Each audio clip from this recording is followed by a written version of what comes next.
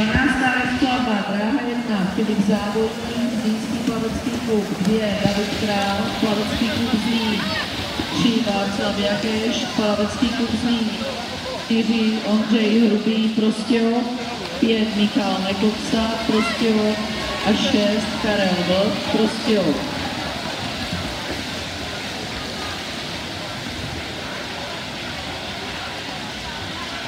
Zvítězil Nikis Kotopoulos,